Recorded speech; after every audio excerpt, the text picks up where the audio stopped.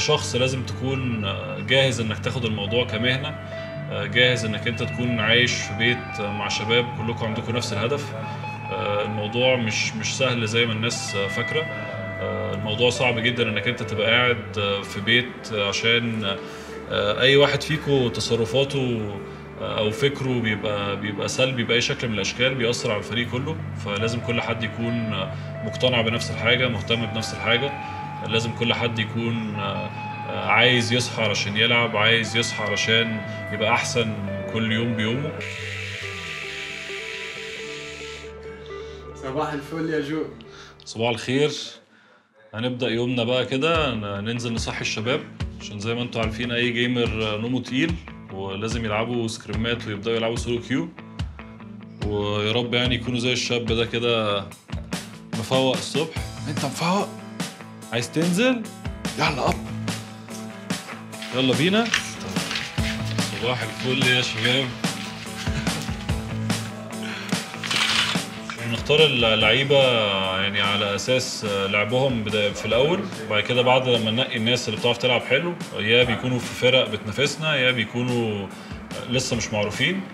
وبعد كده الجهاز الفني عندنا اللي هو بال coaching staff في League of Legends مثلا بالمدرب اللي هو خوليو والمساعد بتاعه اللي هو بوش بي بي بيختاروا اللعيبة بعد كده مش بس بلعبهم بس بشخصيتهم بال بال عشان هم شافوا لعيبة قبل كده وعارفين تصرفاتهم بتبقى عاملة إزاي على حسب حاجات في شخصيتهم معينة.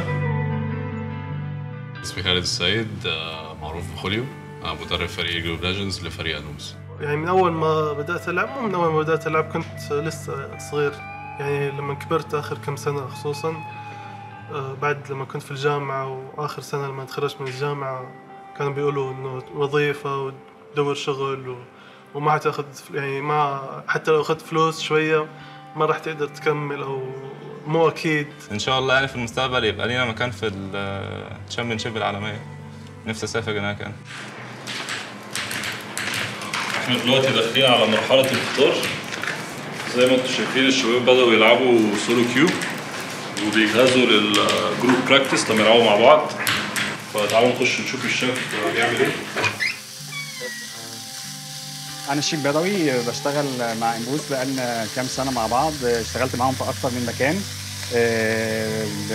معظم الشباب أصدقاء شخصيين ليا.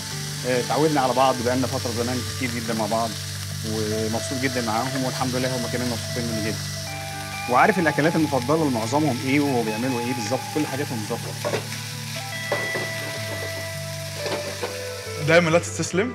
دايما حاول تسوي اللي أنت عاوزه يعني.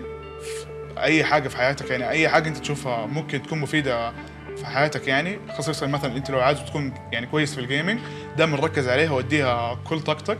لأنك لو اديتها كل طاقتك هتوصل بإذن الله اللي عاوزه في أي حاجة يعني هتوصل لأعلى حاجة يعني إن شاء الله. بحس إن أنا أقدر أطلع حاجات ما أقدرش أطلعها في العالم الحقيقي حاجات أقدر تكملني أو مش أي حد يقدر يعملها. حدد هدفك وتأكد كويس احسبها صح. واحسبها كويس لأن عندنا بالذات الموضوع صعب شويتين لأن أنت يعني بيبقى عليك ضغوطات من كل حتة. فلازم تبقى يعني وانت بتاخد القرار متأكد 100% ان ده الحاجة اللي انت عايز تعملها الحاجة اللي, انت هتكمل فيها حياتك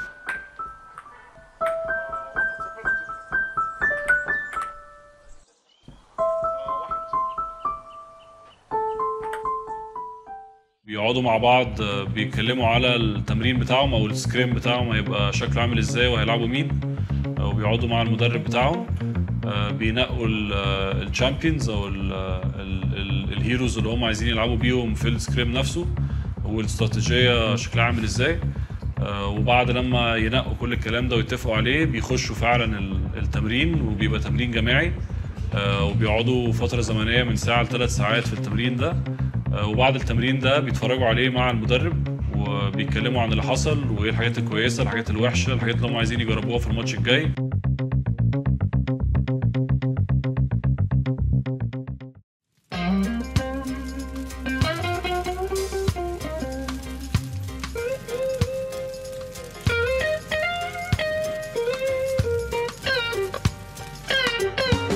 Hi اسمي أحمد أبو جلالة also known as دكراي عندي 23 سنة وأنا من دمياط.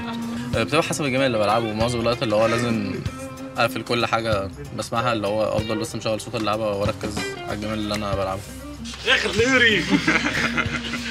اسمي خالد النشواتي a.k.a. Fever عندي 28 سنة ومن دمياط. آه، يعني يعتبر من أحسن احساس بحسه لأن أنا يعني بعشق ال gaming وبالنسبة لي دي أكتر حاجة بحب أعملها فبالنسبة لي لما بلبس سماعة أو أدخل ال game دي أكتر متعة عندي.